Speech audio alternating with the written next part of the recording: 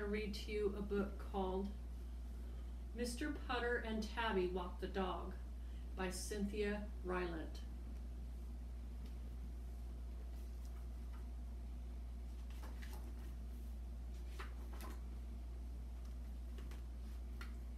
Chapter 1 The Lollipop Mr. Putter and his fine cat Tabby lived next door to Mrs. Teaberry and her small dog Zeke.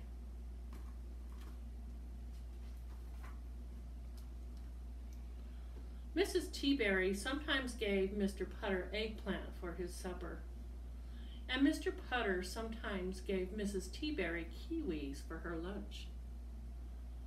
They were very happy living side by side.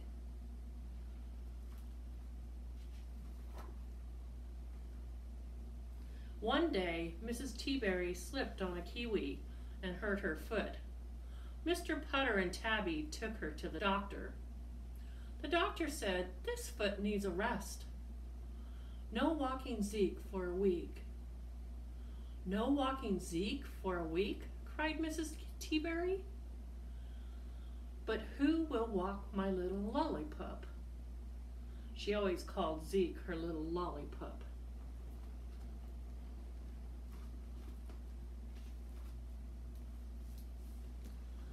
Then Mr. Putter, who had a very soft heart, said, I will walk your little lollipup. Mrs. Teaberry was happy, but she was a little worried. I hope he doesn't tug, she said. Oh no, said Mr. Putter. Zeke won't tug. I hope he doesn't wrap around trees, she said. Oh no, said Mr. Putter again. Zeke won't wrap.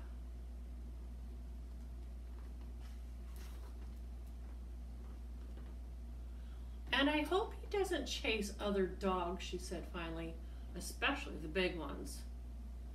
Oh no, said Mr. Putter for the last time. Zeke is a good dog. Zeke is a fine dog. Mr. Putter looked at the little lollipup. Zeke is a dream dog, Mr. Putter said with a smile.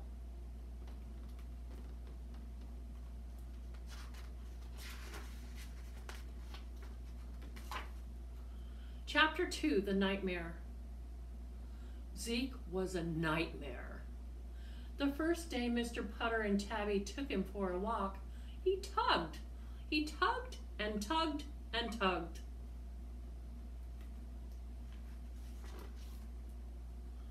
He tugged Mr. Putter and Tabby through yards and creeks and houses they had never, ever been through before.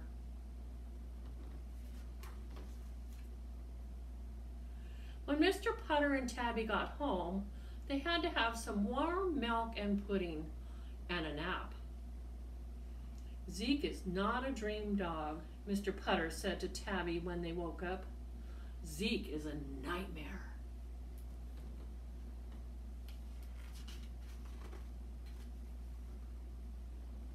The second day, they took him for a walk. Zeke wrapped around trees, he wrapped around an elm tree. He wrapped around a pine tree. He wrapped around a pear tree. And he always wrapped Mr. Putter and Tabby with him.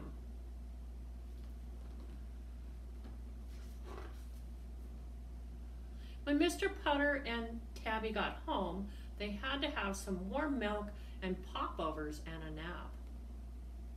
Zeke is not a dream dog, Mr. Putter said to Tabby when they woke up. Zeke is a nightmare.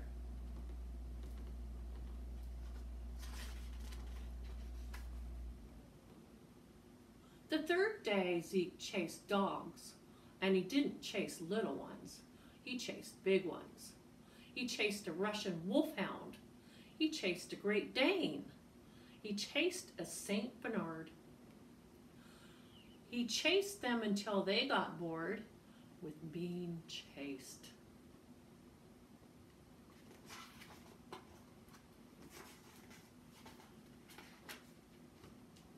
Then they turned around and chased Zeke and Mr. Putter and Tabby. The big dogs chased them through the yards and creeks and houses they had never been through before.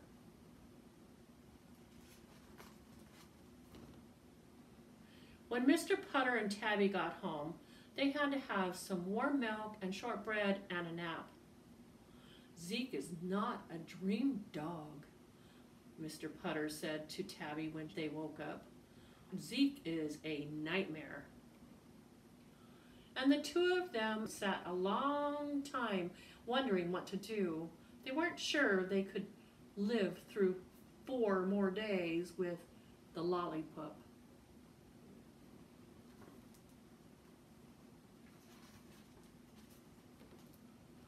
Chapter 3 The Dream Dog. Here's the deal, Zeke, Mr. Putter said on the fourth day. You be a good dog, and every day after our walk, you'll get a nice surprise.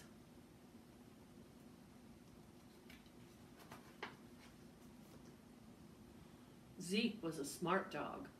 He knew what a deal was. Fourth day, he didn't tug, he didn't wrap, and he didn't chase.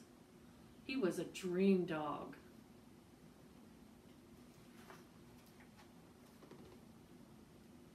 So Mr. Putter and Tabby took him to the Frosty Freeze. Zeke had a hot fudge sundae with extra cherries. The fifth day, Zeke didn't tug, and he didn't wrap, and he didn't chase. He was a dream dog today.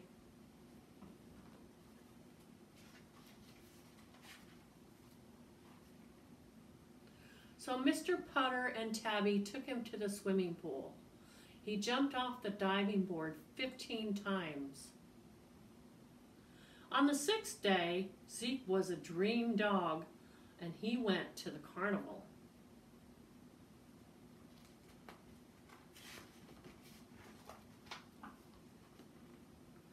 On the seventh day, Zeke was a dream dog and he went to the zoo. When Mr. Putter and Tabby took Zeke home for the last time, Mrs. Teaberry asked, Was Zeke a good lollipop? And Mr. Putter, who had brought her pecans instead of kiwis, smiled the biggest smile. He said Zeke was a dream lollipop.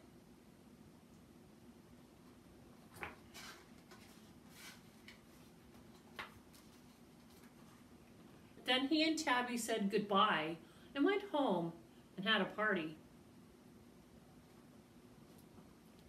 The end.